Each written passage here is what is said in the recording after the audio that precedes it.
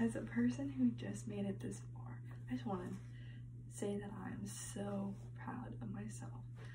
I worked so hard to get where I am going and where I just started my new path to the future. Um, the first person I want to thank is my dad. That man has pushed me from the start all the way to the finish line, which really isn't the finish line. Back to my dad. That man has taught me many things to make me into the woman I am today. He has taught me to push myself, even in troubled times.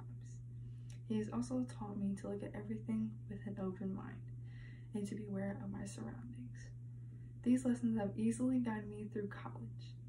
Another person I want to thank is my mother. She is one who pushed me to stay on top of things. Without her, I probably wouldn't have even gotten into college.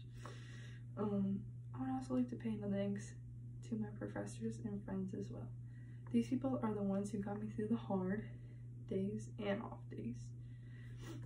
As a teenager, everyone goes through struggles, same, different ones, and everyone has their off days. But my teachers and my friends are the one who got me through it the most. As an adult who is about to go off in the world, all I can say is to my parents to be ready because I might be back in.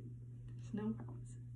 But I'm glad that I got to where I am now, and I just know that I am not stopping here, and I can't wait for the future for me.